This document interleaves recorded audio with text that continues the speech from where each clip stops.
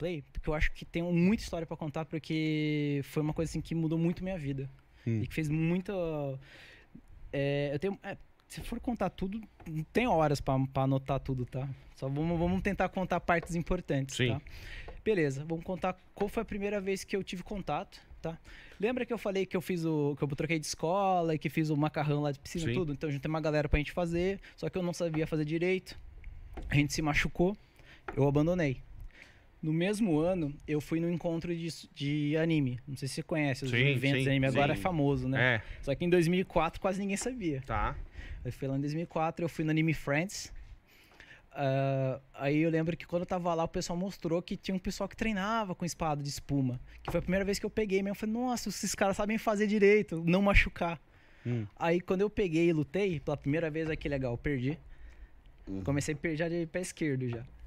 Aí eu me apaixonei por aquilo, né? Falei, nossa, eu quero continuar fazendo isso. Aí eu tentei aprender a fazer. Eu, eu lembro que eu vinha bastante de São Paulo para competir. Eu fazia vários campeonatos. Até que a gente tava, eu e meu pessoal, a gente se destacou tanto que lembro que eu lembro dessa data. Porque a gente anotou porque a gente comemorava por vários anos. 26 de janeiro de 2006. Foi o ano que o pessoal nos convidou a participar de um evento porque a gente se destacou no campeonato. Daí a gente foi no evento lá no Parque Vila Lobos Tá. Né? Que naquela época o pessoal fazia o que eles chamavam de batalha campal. Batalha campal era uma reunião de vários grupos de swordplay e o pessoal se, bate, é, se batia, fazia a guerra, né? Uhum. Juntavam vários de um cada lado. Tinha competições se... ali. É, tinha as competições, mas era mais o confronto mesmo. Uhum. Tanto que naquela época tinha pouca gente, então chegava a ter uma batalha de 50, 60 pessoas. Hoje, a última batalha que eu fui tinha 600 pessoas. Tá? E, e, sim, 600 pessoas lutando ao mesmo tempo. Uhum. Que é uma coisa que poucas pessoas sabem no, no, no, Brasil que tem essas lutas. O pessoal geralmente imagina uma pessoa enfrentando a outra, né? sim, né? Sim. Mas quando você faz uma batalha que você vê flecha voando para lá para cá, a gente correndo, você fica até meio perdido, é bem legal. Tá? Enfim, é, como eu disse para você, eu comecei em 2006, né, o, com, com, o grupo, eu montei o meu grupo. Eu lembro que eu já comecei sempre com o pé direito quando eu montei meu grupo, que é o do Falcão? Uhum. É, é, até engraçado, porque eu acho que uma coisa que eu não sei se vocês perceberam, eu tenho um pouquinho de grau de dislexia. Às vezes eu falo coisas erradas, eu tenho que corrigir, ou às vezes eu nem percebo que eu falo errado. E por causa da minha dislexia, eu não conseguia falar o nome do meu grupo. O meu grupo chamava Falksgeist, que em alemão é espírito do falcão. E eu não conseguia falar. Eu falava Falksgate. Hum. Aí ficou. Ficou famoso por ser Falkgate. Uhum. Gate. Aí, em 2006, então, como eu disse, eu fui o primeiro grupo a chegar com uma galera lutar. Porque o comum era três, quatro pessoas pro grupo. Pro grupo chegar até 10 pessoas, era um grupo que já tinha um tempo. Entendi. E eu cheguei com 16 pessoas. Eu lembro que quando eu cheguei, o pessoal até ficou chocado, né? Nossa, onde, de onde veio esses caras? Onde brotaram? Daí eu lembro que por vários anos o meu grupo foi o maior do Brasil. Porque de 16 foi para 20, foi para 30, foi para 40 a gente bateu a marca de 250 pessoas. Caraca! Uhum. A gente tinha, a gente tinha filial em São Paulo, tinha Piracicaba, né? Tinha Mauá, tinha Cândido Mota, tinha Londrina, tinha. A gente teve, teve uma filial em Mangaguá que não deu certo. Uhum. É, deu uma em Campinas também falhou. Ah, Jundiaí. A gente pegou várias cidades. Por isso que a gente chegou a 250 pessoas. Né? E por um tempo é, é, até foi interessante, porque que, por que, que o meu grupo se destacou? Um, vários, um, um principal motivo. Em 2007, eu participava das batalhas, eu percebia que a galera ia lá, mas só se batia. Ia se enfrentar tal. Ninguém pensava em estratégia direito. E eu olhava para aquilo e falava, mano, a gente tá fazendo algo errado.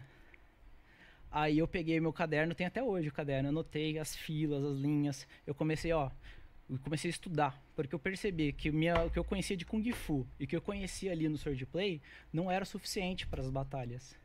Eu comecei a estudar, né, estudar mesmo, é várias Lembro que eu passava horas na internet procurando referências e pior que é difícil achar referência histórica de batalha. Uhum. As pessoas falam geralmente resultados, mas eles não explicam muito bem como aconteceu. Pode procurar. E agora hoje em dia tem vários livros que falam, mas ainda assim é meio é bem é bem escasso. Aí eu fui estudando e fui desenvolvendo, ó, conceito de centro, conceito de flanco. Né? E daí eu entendi que os flancos que fazem a luta acontecer, o centro, ele é como se fosse uma o esqueleto do, do, do- Vamos pensar num exército, é o esqueleto É do um exército. xadrez, né? Isso. E as mãos são os flancos. Ou seja, os dois são importantes. Se derrubar o, o esqueleto, a pessoa morre. Uhum. Uhum. Só que se tirar as duas mãos, o que, que a pessoa vai fazer? Entendeu? É, é uma questão de estratégia. Você falar, o que você vai fazer com o seu adversário? Você vai tirar o esqueleto dele ou vai tirar os braços dele? Então a gente vai pensando nisso. Aí eu fui desenvolvendo sistemas de linhas. Eu, você já ouviu falar essa frase porque muitos filmes falam: vou lá lutar aí na linha da frente. E Uhum. linha da frente. Já ouviu falar isso, Uhum. porque é comum usar. Só que as pessoas não falam o, o- o mais importante, que é o composto. A linha da frente, a segunda linha e a terceira linha. Eu fui desenvolvendo isso. Falei, olha, para um exército tá ganhando, tá, digamos assim, tá eficiente, até a terceira linha tem que estar ativa. Eu percebia que o pessoal tinha mania de só a galera que tava na frente lutar e o pessoal de trás ficar esperando. Uhum. Se isso tá acontecendo, tá errado. Eu desenvolvi então, eu coloquei um monte de gente de escudo na frente. Eu lembro que eu dava preferência para pessoas baixinhas na frente e as pessoas de trás na altas na segunda linha. Eu colocava pessoas com lança, com labarda, com outras armas de longo alcance. Eu consegui fazer as duas linhas lutarem. Quando eu comecei a fazer isso, em 2007, juro pra você, até 2011 a gente só ganhava. A gente ficou vários anos ganhando. Eu- O meu grupo começou a destacar muito. E o que acontece? Até hoje, 2021, você vai no encontro, você percebe que o pessoal segue meu padrão. Muita gente nem sabe quem eu sou, nem me conhece, mas tá seguindo o que eu desenvolvi. Uhum. Aí, como eu falei, a terceira linha eu coloco o pessoal de arco. Eu desenvolvi o sistema de pessoa, colocar pessoas com espadas ou espa- armas menores, pá. Assim que a bre- brecha, algum flanco invadir por trás. Aí ter como imobilizar.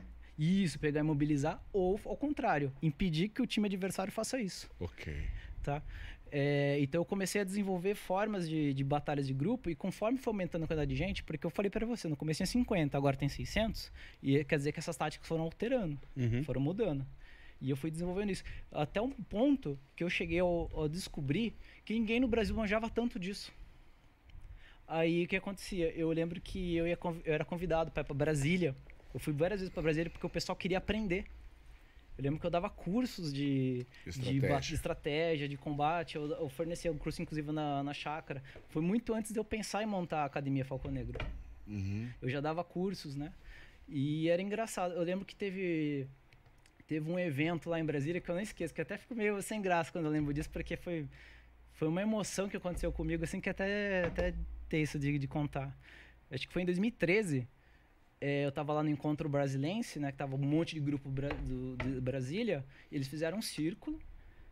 Aí eles falaram. É, peraí, que eu até alterei um pouco aqui a fala. É. Aí eles fizeram um círculo e eles começaram a falar de mim.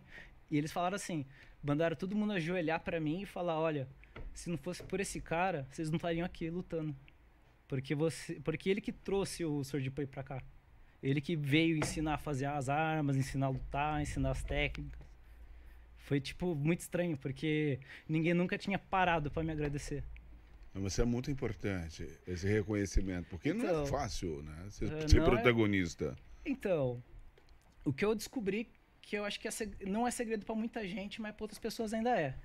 O segredo do, de você ser reconhecido é você continuar trabalhando. Você continuar fazendo. Simples assim. Sim. Porque uma hora, uma hora você tá ali fazendo o seu trabalho, fazendo o seu melhor, alguém vira e dá valor. Alguém percebe. Geralmente não são pessoas do seu lado. Porque as pessoas estão próximas de você têm dificuldade de perceber o Muito que você está perto, fazendo é muito enxerga. perto. Exatamente, é muito perto. Então eu percebi isso, tanto que era engraçado, que o pessoal de Piracicaba, raramente alguém dava valor. Falava, nossa, vem me ensinar, vem me ajudar. Já quando eu via nos encontros, vinha nego de São Paulo, Do Mauá, Nordeste. o Nordeste, inclusive, quando eu, quando eu fui pro primeiro Odisseia, Aham. na hora que eu cheguei lá, eu não, eu não me conformei com o que o pessoal falou pra mim, porque eu tava, eu tava organizando ali e chegaram pra mim. Porque o meu, meu apelido ali no, do Sword Play é Esquilo, né? Uhum. Eles chegaram assim pra mim: Esquilo, você pode olhar as regras pra gente e ver se você concorda?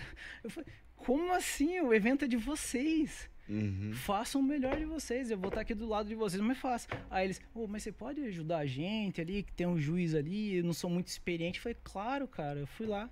Até que, até que o pessoal começou a me zoar depois que eu tava indo embora. Eu falei: Nossa, mano, o cara pagou a passagem aqui pra.